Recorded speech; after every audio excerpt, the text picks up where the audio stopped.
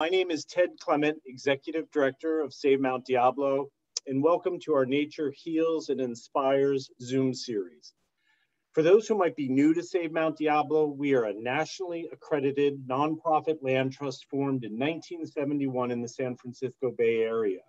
We have a mission to protect the important open space lands associated with Mount Diablo and the mountain's connection to its sustaining Diablo range to create lasting public benefits for our communities and local flora and fauna, we use various tools like land acquisition, advocacy, education, and land stewardship. To our supporters watching this, thank you. Together with your wonderful support, Save Mount Diablo is able to do great things to protect the ultimate foundation for our long-term health and well-being, nature. Understanding that nature is the ultimate foundation, we developed a free public education Zoom series entitled Nature Heals and Inspires to help our communities understand that nature is a critical part of the solution to working through these challenging times. Our Nature Heals and Inspires Zoom series started in April 2020, and to date we have delivered over 25 presentations by an amazing and diverse group of experts, ecotherapists, conservationists, scholars, artists, scientists, etc. All exploring this topic of how nature helps heal and inspire us. And through this exploration, we have been getting important clues on how to better align ourselves and our culture with the natural world we are part of. Mount Diablo State Park has been helping heal and inspire our communities for 100 years. And of course, the mountain itself has been helping inspire and heal people since time immemorial. And this Saturday from 10 a.m. to 4 p.m., the Mount Diablo State Park Centennial Celebration event will be held at the CSU East Bay Concord campus off Ignacio Valley Road. Save Mount Diablo and our friends and partners at California State Parks, the Mount Diablo Interpretive Association, and CSU East Bay are coming together to put on this event, so we hope you'll join us. Later this year on December 7th, Save Mount Diablo turns 50, and we will celebrate our 50th anniversary over the course of a year with a big event for it next year. We have partnered with Mount Diablo State Park throughout our entire history, and we have proudly helped Mount Diablo State Park grow from under 7,000 acres when Save Mount Diablo was formed in 1971 to over 20,000 acres today.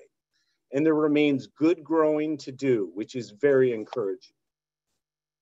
With this year marking the 100th anniversary of Mount Diablo State Park, Save Mount Diablo and the Mount Diablo Interpretive Association helped sponsor a Joan Hamilton film about this wonderful state park we all love.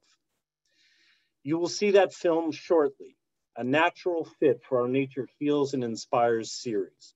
But first you will hear from Steve Smith of the Mount Diablo Interpretive Association and then Joan Hamilton. After the film, there will be a roundtable discussion and Q&A with various people who worked on the film. And I wanna thank all those very special people. And I wanna thank the Mount Diablo Interpretive Association, California State Parks, and Joan Hamilton for this incredible film, and I hope you all really enjoy it. Steve, take it away. Oh, thanks, Ted. Thanks so much, everyone, for attending tonight. We've got about 170 people here tonight, so a good showing. Um, I'm glad you could join us. Uh, as Ted mentioned, I'm president of MDIA, the Mount Diablo Interpretive Association, and we are a nonprofit cooperative association that works directly with California State Parks and specifically Mount Diablo State Park uh, to help administer it and interpret the mountain. Uh, we're responsible for selling all the merchandise on the mountain, which is our main fundraiser. And and uh, we've created a lot of great Centennial merchandise, some of which I am showing off for you. Um, and that can be found at our visitor centers as well as at our online portal at mdia.org. Speaking of our website, we're very proud of it. It has a host of information, a wealth of articles on the history, the nature, the cultural history of the mountain, as well as uh, all the information about upcoming events. We sponsor a lot of hikes and our own webinar series on various topics. It's also a great place to find out more about the mountain, how to get there, how to park, uh, what the fire weather is like, And you can also use our website to check the weather at the summit, as well as uh, PurpleAir for uh, smoke uh, for those of you who are using the mountain. Uh, as Ted mentioned, we are having our centennial celebration on Saturday. It's been a long year of planning, and we're really hoping it goes off without a hitch. It's supposed to be a beautiful day. And so we're counting on you to come out and help us celebrate. From 10 to 4, we'll have food trucks, some music, some speakers. We'll have our film that we're debuting tonight uh, on a loop uh, that you can enjoy in the theater. And we have over 25 exhibitors uh, representing, we'll have live animals like bats, reptiles, snakes, spiders, uh, peregrine falcon, uh, possibly an eagle. And we'll also have other groups represented uh, like Save Mount Diablo, MDIA, uh, astronomers, geologists, and so many more. So it should be a great day. So come on out and celebrate with us uh, grab some food, enjoy some music, and uh, party it up for the 100th. And looking forward to the next 100 years, MDIA is proud to launch a, a, new endeavor to build a new visitor center at Mitchell Canyon in Clayton. And so stop by our booth and learn more about that as well. So without further ado, I'm going to turn it back to Ted.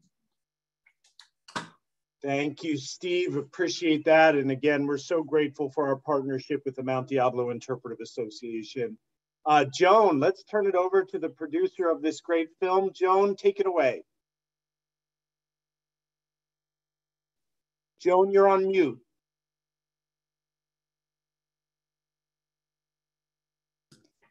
Sorry about that. Um, this, Steve, that celebration on Saturday sounds so great. I'm gonna I'm gonna try to be there for sure.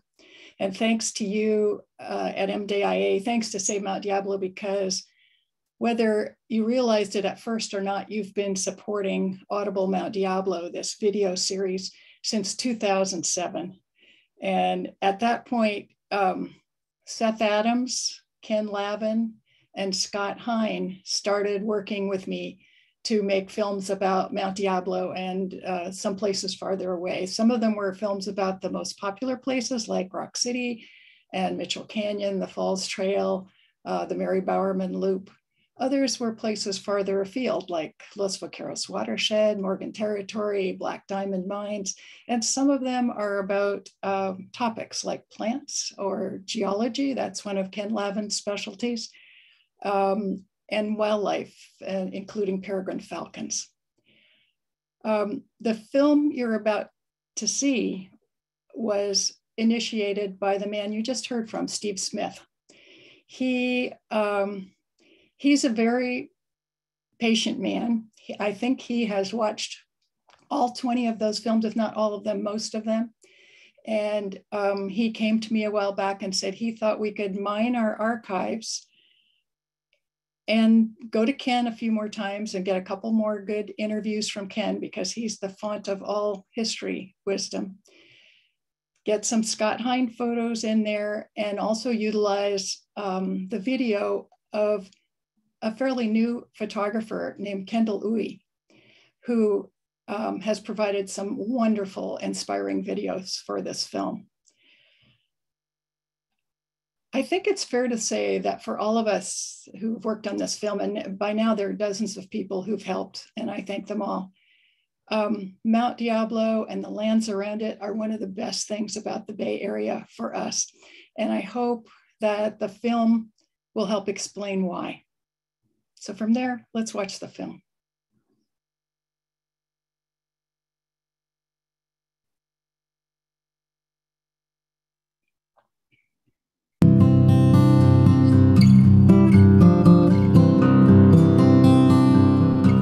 Mount Diablo State Park was established in 1921, but the mountain has been important to humans for thousands of years. We're taught that there was a time of a great flood, when everything in the world was covered with water, except for the two peaks of the mountain that's right behind us, Tuyshtak. When the waters receded, our Creator created the world as we know it today. But we're taught that we're supposed to tend to this, take care of it, steward it. This is our most sacred peak. Starting in the late 1700s, the Spanish and later Mexicans and Americans brutally forced native peoples off the lands around Mount Diablo and elsewhere. Disease and persecution almost wiped them out, along with their languages, religion, and culture of caring for the land. But some managed to survive, and their descendants still revere the mountain today. The first Overland Immigrant Party headed to Mount Diablo, they were they were using newspaper accounts from Dr. John Marsh, the first American settler in Contra Costa County. In those accounts that he'd send back to, to newspapers in the East and the Midwest, he would describe how to get to the Bay Area across the Sierra. Well, well, this was ironic because Dr. John Marsh had never crossed the Sierra. In fact, no one but a few fur trappers and, and Native Americans had. The thing he got completely right was when you get across the Sierra, look for the double pyramid peak off in the west, and my ranch will be found at the base of Mount Diablo. So it was important in terms of guiding people. You can still see it from half of California, which is why it was chosen as the initial point for California's first baseline and meridian. If you own property in most of northern and central California, your property lines are based on those initial north south meridian and east west baselines from the peak of Mount Diablo. Mount Diablo is located right at this point between the Bay Area and the Central Valley, between the coast and the delta. As the mountain rose and things disappeared from the area around it, it retained things that you normally associate with wetter Pacific Northwest climates to the north, and it retained things that you normally associate with the Mojave Desert to the south. It's the northernmost location for coulter pines, which are generally found 200 miles south in Southern California. But it's also a, a center of endemism.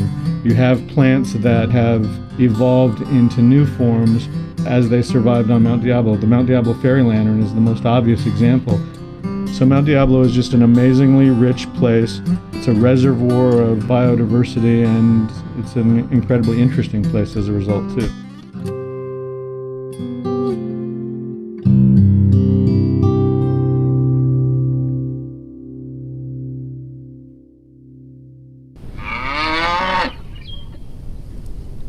In the late 1700s, when the Spanish came north along the coast, they brought food with them in the shape of cattle. That was the beginning of a slow but revolutionary change in the mountain's ecology. The change was not only caused by what the cattle ate, but also by the non native grass seeds the cattle brought in on their hides. As more colonists flooded into California, more foreign seeds came in too, in the ballast of ships and in loads of grain.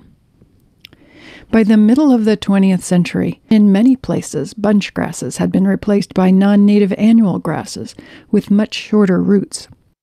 And the big change was to the hydrology of the mountain.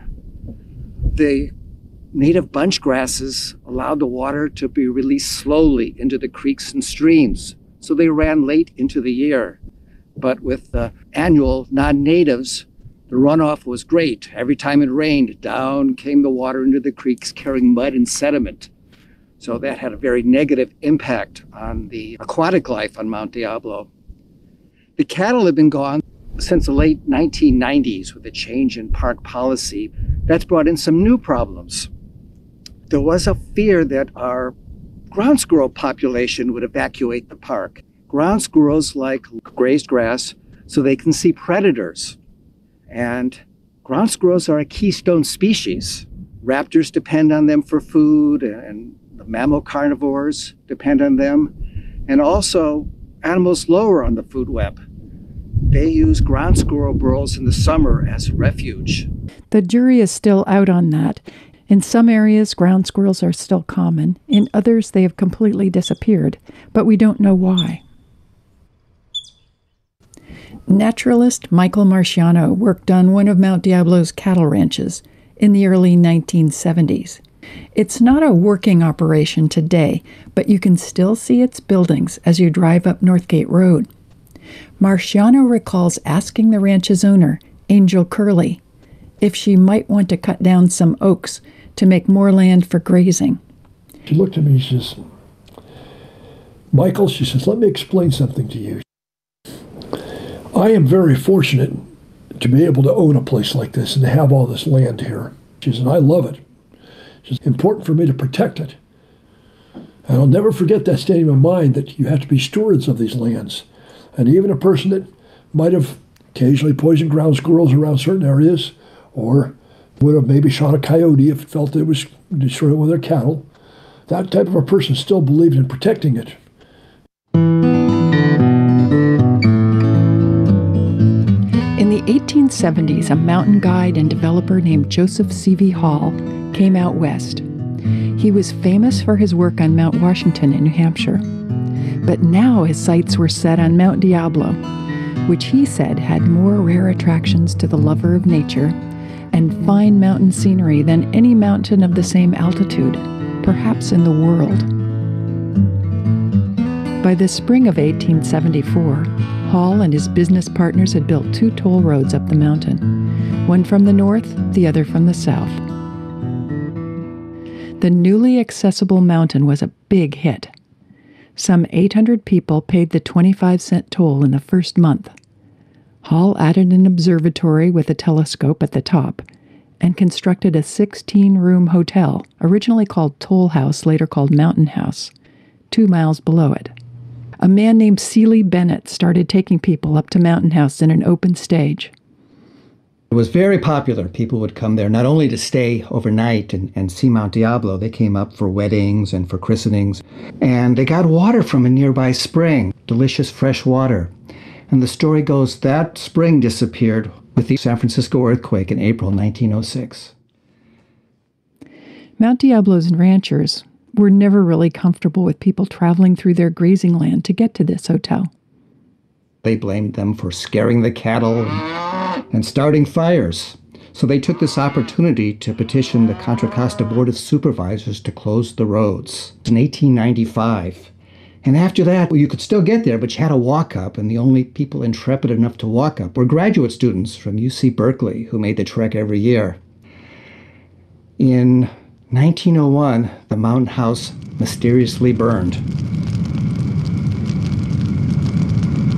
The ranchers were always suspected of having precipitated the fire, but nothing could ever be proved. The one mysterious thing, when they went to visit the smoldering ruins of the mountain house, was the doors and the windows were found in a creek bed. And that remained a mystery for several decades until finally one of the ranch hands on his deathbed fessed up. He said, Yes, we indeed had burned down the mound house. And the rancher told us before we set it afire to take off the doors and the windows, because if we later got caught, we couldn't be prosecuted for arson on a dwelling, because without doors and windows, it wasn't a dwelling. A little more than a decade later, tourism rose again, and this time it was a motorized revival led by developer Robert Noble Burgess. Robert Noble Burgess' big idea was to build homes all the way to the top of Mount Diablo. Diablo Estates, they were to be called. And he built North Gate Road and South Gate Road to access the summit. He was so proud of his roads that he advertised them as being suitable for auto racing.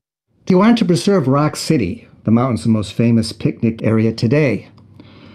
But he didn't like the name. He gave it a new name. He called it Garden of the Jungle Gods. And he gave names to many of the rocks that persist today Elephant Rock and Whale Rock and Butterfly Rock. But the crown gem of this project was to be a castle on top of Mount Diablo called Torre del Sol, which was to be remarkably similar to what was later to become Hearst Castle. And there was a good reason for that. William Randolph Hearst was his financial backer for this project. But neither the homes nor the castle were ever built. America got into World War I, and William Randolph Hearst became interested in that.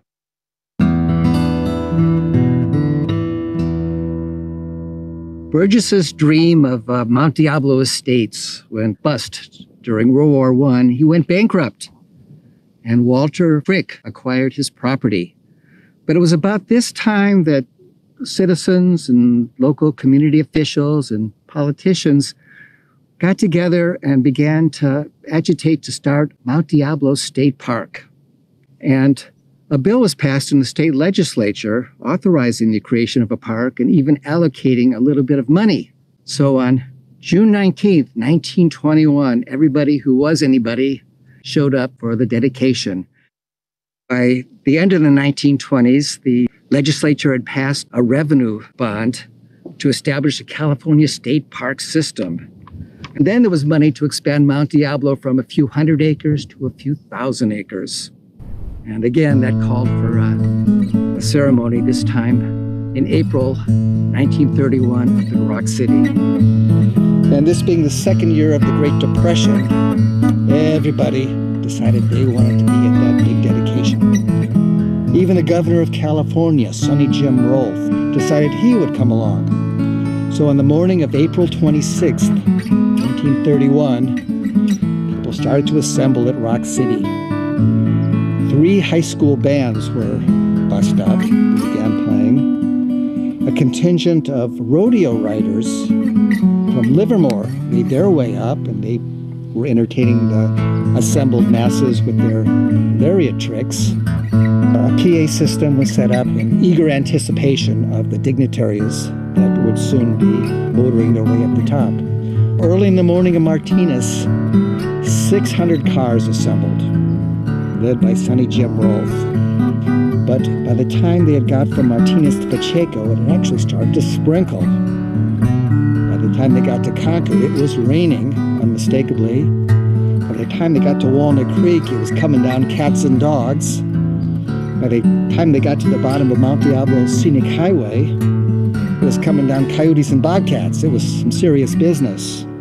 And just at that time, Mount Diablo let loose with some great thunder. Sunny Jim Rolph, who had been drinking, woke up with a start. He knew the National Guard was up at Rock City, going to give him a 21 gun salute. He thought they had started without him. One of the folks in an adjoining car noted Sunny Jim was already drunk as a skunk. This wasn't going to be pleasant. So it was decided that rather than try to make their way up, they would retire to the grounds of the Diablo Country Club. And that's where they had their little ceremony. Well, the poor folks that were assembled up at Rock City, they had no choice. They had to wait out the deluge. Some of the cars up there had become mired in the mud, and that was a problem. They tried to push them out with man and woman power. That didn't work. All looked lost. And that's where the rodeo riders from Livermore came in handy. They lassoed the cars with their ropes and they were able to pull them out to safety and they made their way down. Anyway, it was all too much for the poor park warden. He had just started. And the next day he checked himself into Martinez Hospital in a state of near collapse. One of the participants up at Rock City said, Well, all I can say is today Mount Diablo sure lived up to its name. And that was the story of the second dedication of Mount Diablo State Park.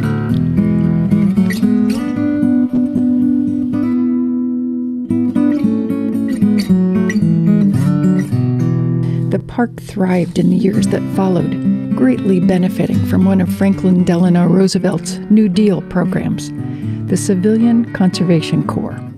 The CCC, as it was known, provided jobs to help families recovering from the Great Depression some 3 million men participated, and about a thousand of them were stationed at Mount Diablo from 1934 to 1941. They built the visitor center on the summit, as well as roads, culverts, retaining walls, water supply systems, camping and picnic sites, and trails. The CCC also built the first stone barbecues at Live Oak Campground.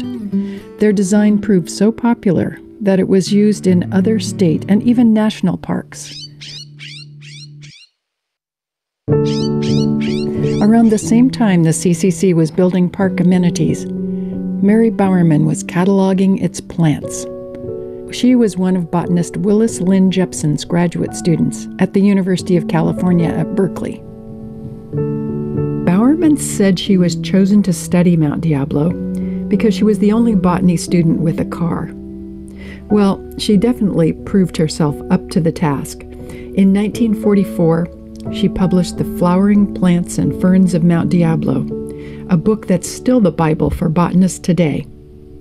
In the 1970s, she helped found both the Mount Diablo Interpretive Association, which fosters appreciation and enlightened use of the state park, and Save Mount Diablo, which has dramatically expanded protected land on and around the mountain. Bowerman began her Diablo research right after fires swept across 25,000 acres on the mountain in 1931. Mary was an absolute expert in fire uh, recovery because she had the years to watch it. And there were fires, huge fires in the 30s and 40s and 70s on Mount Diablo. After a fire in 1977, Dean Lesher of the Contra Costa Times raised money to replant the blackened slopes with Monterey pines.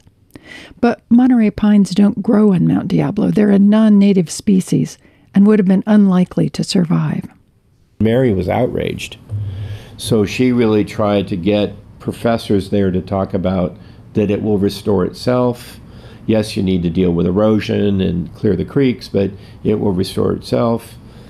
Eventually, Bowerman and Mount Diablo State Park used the money the newspaper had raised to build the Mary Bowerman Trail around the top of the mountain. Today, it's one of the park's most popular hikes. In less than a mile, it passes through forest, grassland, and chaparral habitats, with wide angle views of northern and central California. The first two tenths of a mile is wheelchair accessible. Through her work with Save Mount Diablo, Mary was directly involved in saving places on the mountain that many of us take for granted today North Peak, Mitchell, Back, and Donner Canyons, Blackhawk Ridge, the Black Hills, and Sycamore Canyon, Pine Canyon and Castle Rock, White Canyon and Riggs Canyon.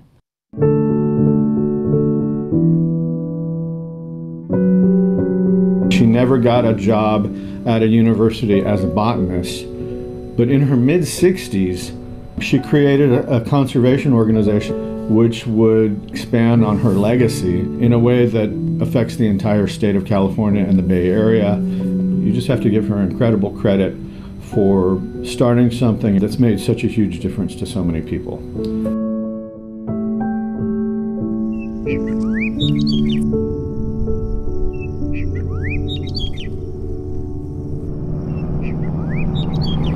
When Walter Frick owned the western side of the mountain, he approved the building of a beacon on top, the standard Diablo Tower. In the late 1920s, there was a move to popularize commercial aviation. But the problem was there was no radar back then. And to be profitable, planes had to fly at night, which was very difficult navigation. So the idea was hit upon to establish a series of beacons, lighthouses for aircraft. So on top of Mount Diablo, a 75 foot steel tower was built. And atop that tower was mounted a 10 million candle power beacon. And on the tower, giant letters SD were mounted. That stood for Standard Diablo. The Standard Oil Company was one of the financial contributors I think the angle for them was they would be able to sell more aircraft fuel.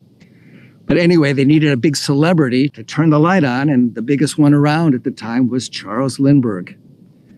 And he sent a telegraph message to turn the light on. In April 1928, the beacon went on, and the light remained on for the next decade, braving brush fires and thunderstorms until it was moved to the top of the new museum in 1939 as the museum neared completion. But then on December 7th, 1941, the park warden raced up to turn off the light because Pearl Harbor had just been bombed. And he was instructed to get that light off lest the Japanese Imperial Navy use the beacon on Mount Diablo to launch an invasion of the West Coast. After the war, well, there was radar and you didn't need the, the light anymore. So it remained off until 1964 when it was decided that turning the light on once a year on December 7th would be a great tribute to the Pearl Harbor survivors. On December 7th, 1964, retired Rear Admiral Chester Nimitz made the windy ride up to the top of Mount Diablo and he lit the light for that first time. Then every year after that, on December 7th, the light is turned on. Having served as Commander in Chief of Allied forces in the Pacific during World War II, Nimitz was perfect for the job. The light was also turned on in 2020 and 2021 when Save Mount Diablo lit it every Sunday night to honor the COVID 19 pandemic heroes and bring light into a dark time. Mount Diablo is the northern sentinel, the northern anchor of the Diablo Range, part of the Inner Coast Mountain Range of California. It's also the backdrop to our everyday lives. Sometimes we're lucky enough to be there physically, and sometimes just in our minds. The park has grown from 631 acres in 1921 to over 20,000 acres today. That's 20 times the size of Golden Gate Park in San Francisco. State Park Supervising Ranger Cameron Morrison has worked here for more than 20 years welcoming countless visitors and roaming the mountain's rugged terrain from Mitchell Canyon Visitor Center at the base of the mountain to the 3,849 foot summit. You've got some of the best views in California from Mount Diablo State Park. The highest elevation in Contra Costa County is found at the summit. We have over 160 miles of fire roads and trails. We have right around a half a million people per year that visit Mount Diablo State Park. And many of those people uh, are coming to the park to hike, to photograph, to enjoy the plants and wildlife. We have people that come here for recreation, riding their bicycles, trail running, camping. The park has three campgrounds with 63 sites, as well as five group campsites. There are some rules, of course. Stay on established trails, ride bicycles only on paved roads, fire roads, and other designated trails. Don't bring a dog unless you'll be restricting your visit to a campground or other developed areas. With the rest of California, Mount Diablo also has been impacted by climate change and droughts. Due to the drought of the last two years, our water reserves are extremely low. In 2021, some of the springs the park depends on for water were drying up. In some places, trees were dying, animals were stressed. But Mount Diablo State Park's size and diverse terrain, as well as a network of more than 100,000 acres of protected lands around it, act as a kind of insurance against the worst effects of climate change. They give plants and animals, including humans, room to roam. Mount Diablo's changed a lot over time, but in a lot of ways, it's remained the same. The tule elk no longer graze the hillsides. The rainbow trout are gone from the creeks, and the, the grizzly bears are gone from the canyons. But the golden eagles are here in great numbers, and the peregrine falcons are here. And even the badgers are coming back. You never know what you're going to see on any given day. You might go out looking for a particular bird or plant and you come around a, a bend in the trail and there's a, a beautiful flower or a shrub in bloom or one of Mount Diablo's panoply of eight-legged, six-legged, four-legged, or even no-legged critters there sharing your space. Here we are in the midst of a, a busy urban area and it's just a place where you can go to get lost, figuratively, not literally from the everyday world and be amongst the flora and fauna of nature.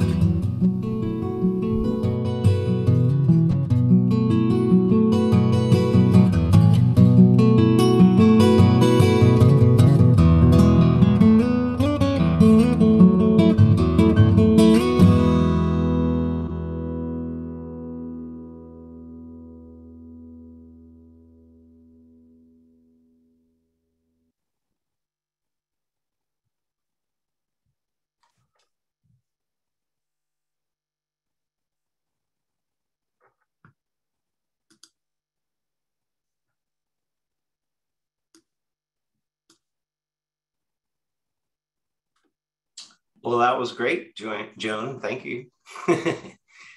Thank you, Steve. Thanks for suggesting it, making it happen.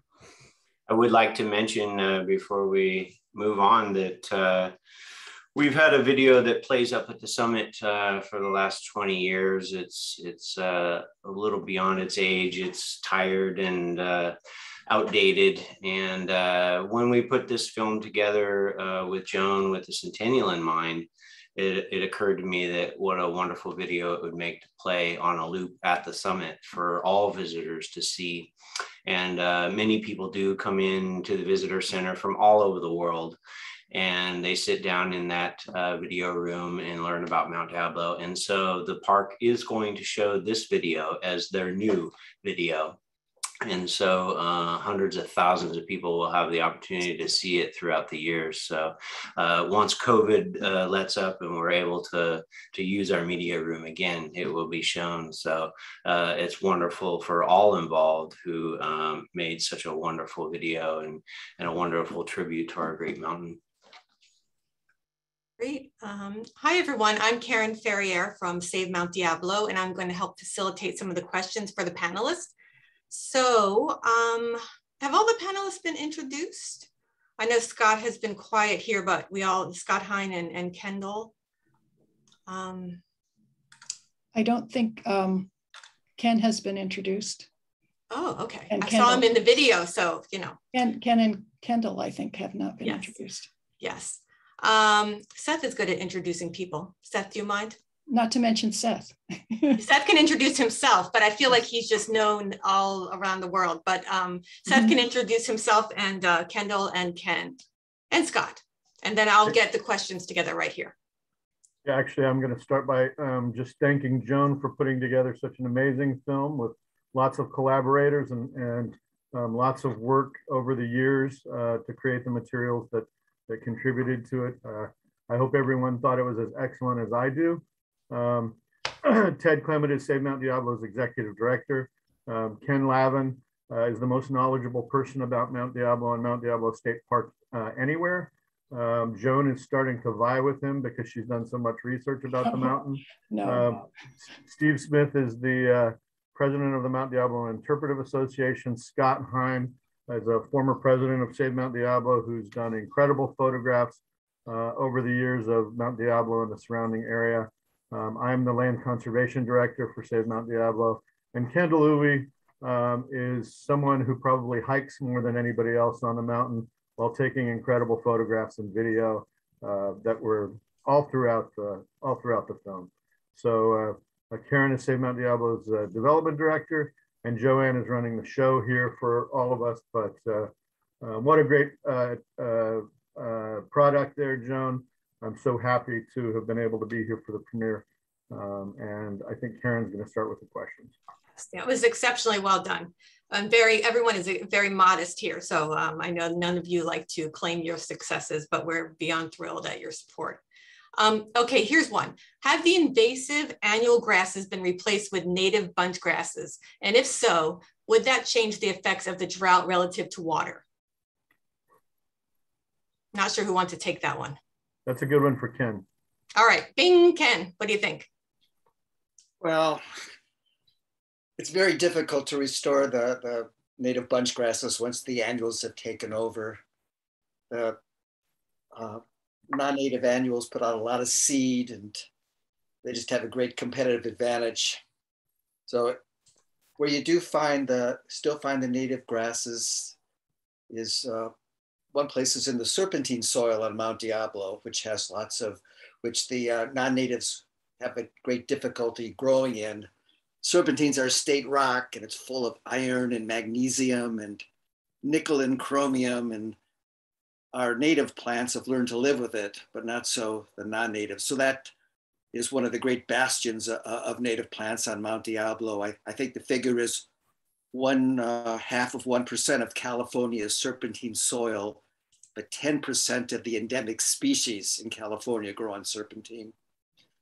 But uh, that's a very long sideways answer, but it would help, but it's just too difficult to get the, the, um, the native bunch grasses back once the, once the, uh, perennial, once the annuals have taken control.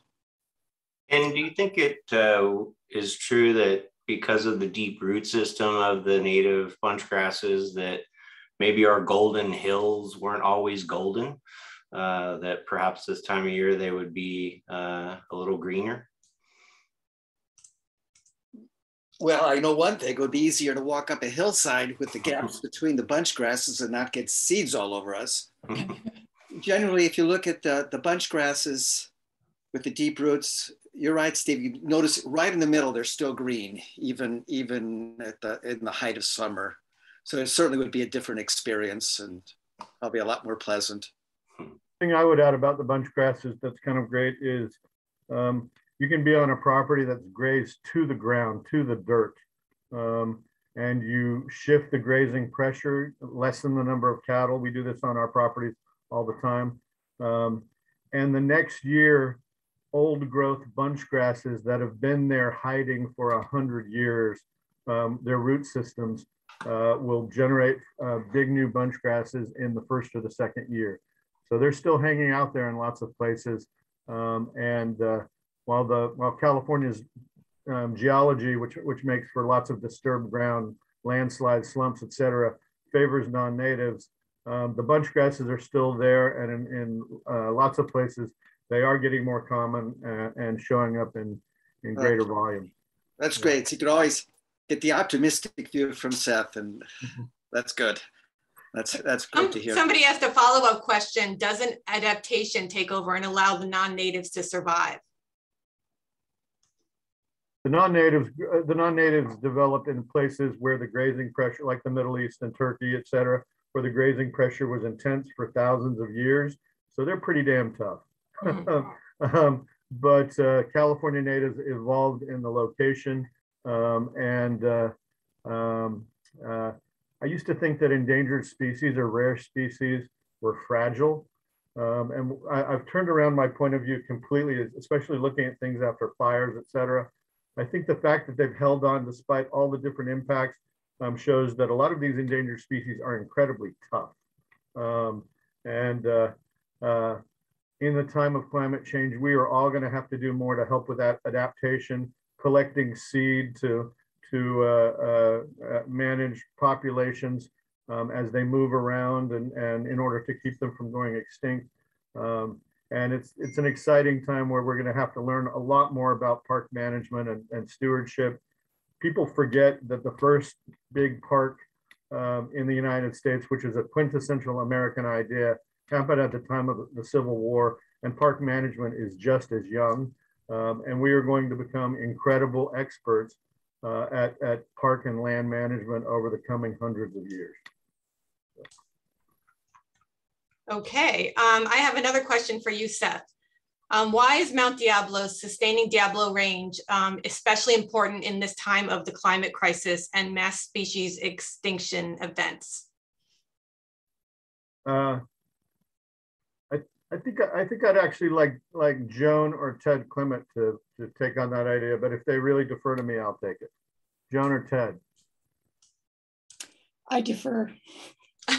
well, um, part of part of the answer to that is that in this time of the climate crisis and mass species extinction event, the resiliency of our natural systems is incredibly important.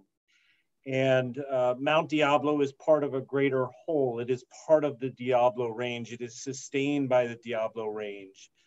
And this incredible natural system uh, needs to um, uh, be protected very carefully so that we help it remain resilient and better able to deal with the stresses of the climate crisis. Um, and um, that's one of the reasons, of course, that Save Mount Diablo has recently expanded our geographic area of focus further south in the Diablo Range to help ensure that Mount Diablo is not cut off from its sustaining Diablo Range and that the system remains more intact and, and more resilient to deal with all these immense stresses. And uh, we're just so grateful uh, for all that people are doing to support us uh, at this critical time so that we can keep this system intact and uh, resilient. This is one of my favorite topics, and Scott Hein is an incredible naturalist, so I'd be curious about um, about his take uh, on on this as well. Why is why is the Diablo Range important as a wildlife corridor in the time of climate change? Well, you think about all the, the stresses that are putting, being putting out, put on the ecosystems as a result of, of climate change, drought, uh, wildfire. Um, you can, uh, you know, destroy habitat in a certain place, but as long as there's connecting habitat that allow the species to, you know, move, migrate, um, repopulate those areas, then um, you'll be able to sustain those those uh, species over time. But if if uh, Mount Diablo gets turned into an island because of, say, significant development that cuts it off from from the rest of the Diablo Range, other than you know birds which can fly, um, you know it's it's difficult for plants and uh, terrestrial animals to to move away, and then you have a island that's uh, um, going to slowly degrade in in the quality of the um, habitat as as more of these big climate change induced events happen. And partly it's the, the phrase that Joan has used a number of times in her audible guides, which I love, which is both we and, and uh, plants and animals need room to roam. Um, so on one, on, on, one level, we just need as much land as we can protect that's connected. Um, and the Diablo Range is obviously 150 to 175 miles long versus Mount Diablo, which is about 10 miles wide. Um, and uh, so, so having enough land, um, and then the fact that the Diablo Range is north-south um, uh, oriented, so that things can move from, from one climate area to another. The, the incredible diversity of topography, um, the ruggedness, the different aspects, um, the, the wetter areas on the west, the drier areas on the east, all of that gives an incredible diversity of habitat, which is one of the reasons the biodiversity is so high in the first place, but also allows for adaptation for things to move around um, as they're, they're dealing with various kinds of stresses. So um, we have to protect as much land as possible. And you, you may have heard of the governor's uh, and the, the president's um, uh, goal of protecting 30% of California and the country by 2030. Um, and a lot of people know we need to move not just to 30 by 30, but 50 by 50. Um, we need to protect enough land to help in this time of incredible environmental stresses um, to, to preserve our ecosystem services, to, and to preserve the wildlife and plants uh, that are here and that are going to be, be stressed by the changes that are coming. Okay, I have a question for the panelists, specifically Joan, but I'd be fun to hear from Ken and Kendall, um, Steve and Scott as well. Um, what, what's your most memorable experience on the mountain? It might be a tough one, but I do like those kind of mm. questions. I've had a lot of them, but um, one that stands out was um,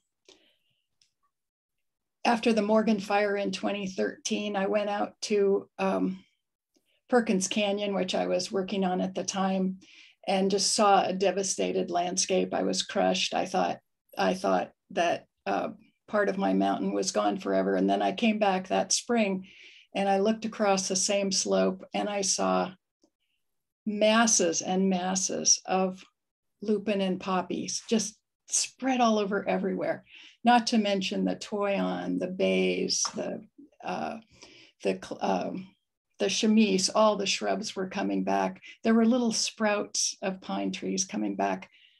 It was it was just so joyous that I'll remember it forever. Mm -hmm.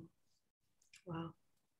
I'll jump in. I'll say that uh, that my most memorable experience changes as time goes on, um, but most recently, uh, many of you know, I lost my mother, who was my best friend and everything to me, and my biggest supporter. And um, and so, as a tribute to her, uh, her remains are scattered on Madrone Trail, and uh, our family had a, a, service there for her, and so it makes the mountain so memorable to me. And I talked to so many people on Mount Diablo uh, who have been married on Mount Diablo, who celebrate their anniversaries, birthdays, who also have plans to have their remains scattered there. Um, so it goes back to that the importance of this mountain to so many for so many thousands of years. Ken, do you have one? Oh, I don't think I have a, a particular really strong memory. I'm still hoping to see a mountain lion. Okay. Well, we'll see if we can make that happen for the next time we have a, um, I keep another. I keep wishing, trying to wish bobcats in the mountain lions, but it doesn't quite work. Mm-mm. But just about, you know, every time you go out, you expect to see something new, and Mm-hmm. every day on the mountain is special. Mhm, mhm. How about Scott? Yeah, Scott would be interesting. Well, I'm a little bit like Ken. Um, you know, every time I go out, I just see something new and, and exciting and wonderful. Um, I think one of my most memorable uh, occasions on the mountain was was oh, it's probably been five or six years ago when we actually had big winter snows um, on the mountain, and I had actually predicted that there was going to be significant snow at the summit, and the the summit road was closed at junction, so I had to park there and hike up to the summit. And as I got toward the top, I caught up with a, a fellow on cross country skis who was skiing up to the top. And then you get up to the top, and there's uh, four or five inches of snow, and all the trees are covered in in snow. It's a it's a Tahoe-like winter wonderland on top of Mount Diablo. But then you look down to the lower elevations, and this was in February, I think, and so the hills had started to green up. Mm-hmm.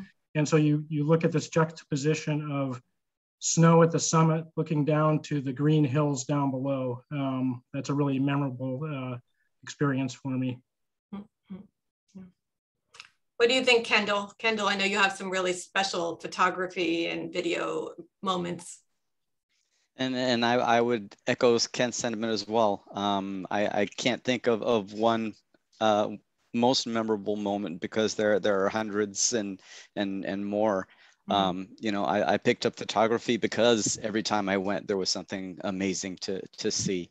Mm-hmm. Um, and you know, it, it ranges from from bobcats and and larger critters down to velvet ants mm-hmm. and and everything in between. Peregrine falcons, just just so much cool stuff to see out there.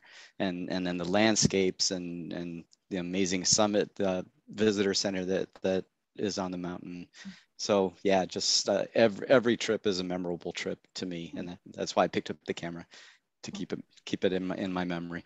Yeah. You feel the same way, Seth? I, you might have some special memories. Um, I have a million magical moments, and uh, some of the most incredible I call ecstatic moments of serendipity, where everything comes together mm-hmm. and you have this incredible experience.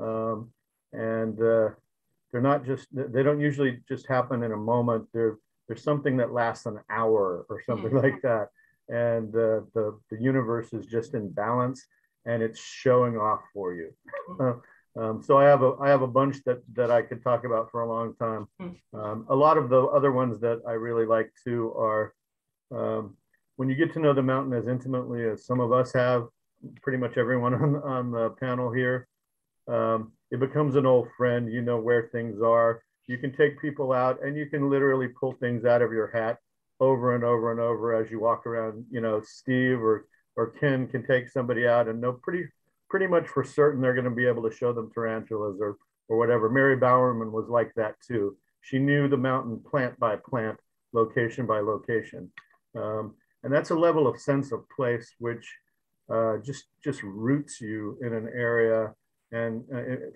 for me, it's like becoming an Indian, becoming a Native American, knowing the place so intimately that it's just part of you. Um, so. We had a couple questions about reintroducing species in the Diablo Range, such as Tule elk. And there was also another one asking about what, what happened to the trout and could they reintroduce trout? Tule elk have already been reintroduced to the Diablo Range. In fact, I just got a call from because people are seeing them down by Livermore. Um, and uh, um, uh, we don't have them on Mount Diablo just at the moment, but I, I wouldn't uh, I wouldn't think that they're not going to be there at some point. Um, the rainbow trout were once found in Mitchell Creek and some of the other creeks, and um, the changes in hydrology made it difficult for them to survive. But I wouldn't count them out either. There's when uh, Marsh Creek Reservoir um, gets replaced, there's going to be fish ladders there that are going to allow trout to come much higher up onto the slopes of Mount Diablo. Um, and the other one, which we reported on at a, another recent Nature Hills um, lecture, is a few weeks ago, for the first time in over a hundred years, the first California condor that anybody has has uh, um, tracked or recorded came back to the east side of Mount Diablo and hung out for an afternoon in Morgan Territory in Round Valley. And some of us have been waiting for that our entire lives. so um, there are a lot of challenges um, that we're facing uh, ahead of us. Um, and there's a lot of great news as well. So California condors coming back to, back to Mount Diablo. I think of all the regional parks around Mount Diablo, Morgan Territory, et cetera, as part of Mount Diablo, just not part of Mount Diablo State Park. But that's an amazing thing, and you'll hear about it in one of our e-blasts um, later this week, maybe tomorrow, um, or uh, early next week. So California condors are back. yeah. Um, we had, is anyone talking to indigenous people about their stewardship practices to apply to the park? There was also another question about, you know, renaming Mount Diablo State Park to its original uh, Native American name. And I know that we've spoken about that before, if anyone wants to comment on that. I'll just jump in by saying, uh, know, I don't presume to speak on behalf of the state parks, but um, having attended many conferences and, and talking with uh, other organizations uh, who are cooperative associations, uh, state parks is really making a, a concerted effort to introduce when when a park representative introduces themselves, they also introduce the land uh, uh, from who it was originally uh, inhabited. So um, you might have uh, Mount Diablo State Park would be a Bay Miwok or Ohlone lands. And so uh, State Parks is trying to, to do more of that. Um, Joan is actually currently working on a brand new video on Native Americans and uh, Mount Diablo. And uh, maybe she could talk a little bit about that. Yeah, we've been working with Vincent Medina and Louis Trevino, who are both Ohlones, and they're not speaking for the Indian community as a whole. They're speaking for themselves, but they're very knowledgeable about Mount Diablo plants and Mount Diablo history. And they do talk about the Native American burning practices in the area, um, which is not just, I don't know uh, whether those practices are being adopted by land managers in the area. But we are, um, Audible Mount Diablo and the organizations we work with are, are trying to get more in touch with Native people and, and um, invite them to share their knowledge. And Karen, I think I'll just jump in here for a minute. At Save Mount Diablo, we um, really believe that diversification is going to be a critical part of the strategy to dealing with these historic uh, environmental challenges that we face, like the climate crisis or mass species extinction event. We need to connect with more types of people, invite more types of people into our land conservation tent, our land conservation team to learn from them, grow with them, uh, do great things together. And so tangible examples of that uh, we have added a wonderful Native American man to our board of directors, Robert Phelps, who's also the director of the CSU East Bay Concord campus. Uh, we hired a wonderful uh, Native American man, uh, Sean Burke, as our land programs director. We've added bilingual hikes to our free Discover Diablo outings program. We've started to reach out to different types of outdoor user groups uh, by including mountain bike uh, outings in our Discover Diablo series, rock climbing experiences, hiking experiences, meditation in nature experiences. Um, we have got to learn to be together, um, uh, put differences aside, um, and come together to face these historic challenges. And again, at Save Mount Diablo, it's embedded in our strategic plan, it's embedded in our climate action plan, that diversity is gonna be one of the most important ways that we come together at this critical time to address historic uh, environmental problems. And uh, we're very encouraged by it, and we're seeing great things as we reach out to more types of people. One, one last thing I would say about the name, um, and I've spent a lot of time thinking about this uh, and responding to these kinds of suggestions, um, is Mount Diablo has many names, and that's perfectly fine. Um, Mount Diablo is, is one historic name that has some historical precedent um, uh, and is partly Spanish, partly English. Um, but Tuyshtak or uh, the various other names, including additional names and additional um, uh, indigenous terms in interpretive um, materials and signs and things like that, is perfectly appropriate. I was just traveling through some Indian reservations in some Western states a few weeks ago, and it kept it it, it reminded me of French, uh, of British, excuse me, um, of Quebec and being in in Canada and seeing all the bilingual signs, but there were there were lots of Indian language interpretations um, right alongside English. Um, so Mount Diablo has many names. Um, I have one more question here. Uh, the current drought is severe and caused the springs to dry up and a water shortage in the park. Have you ever observed a similar drying of springs in the past, or is this the worst you've ever seen? Where do large mammals like mountain lions go for water? Ken. Poor Ken. Figured if I'd wait long enough, you'd answer it. Yeah. Um, there was a drought in the mid 70s. I wasn't living here at the time, which was pretty severe. I know the uh, all the newt ponds in Briones had dried up. Um, where the mammals go for water, that's a good question.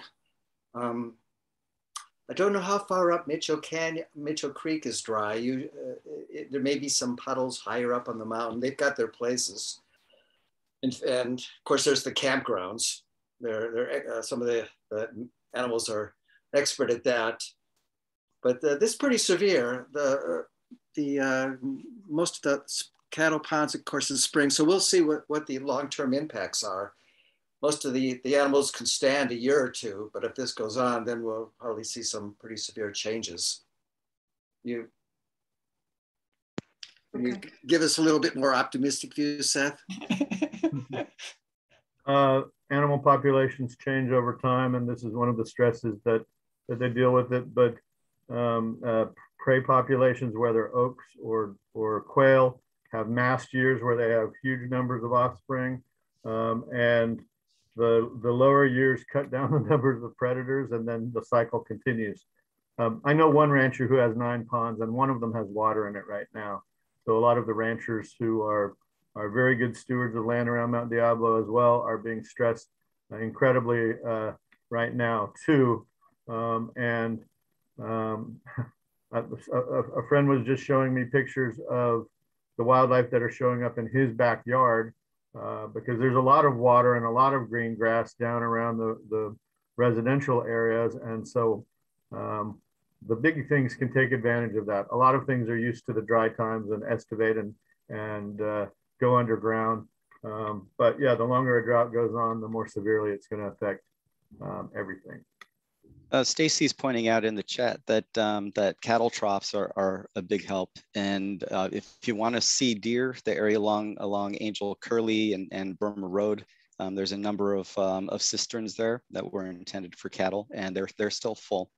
Um, cruising down Northgate uh, a few weeks ago, um, I noticed there were five woodpeckers um, drinking from from a seep that's right along the roadside. Um, and I think I want to say Frog Pond also has has a seep that is currently mostly mud, but there are there are seeps that are distributed uh, along the mountain, and um, anything that can travel can can make it to those um, to those cattle troughs uh, or the cisterns as well.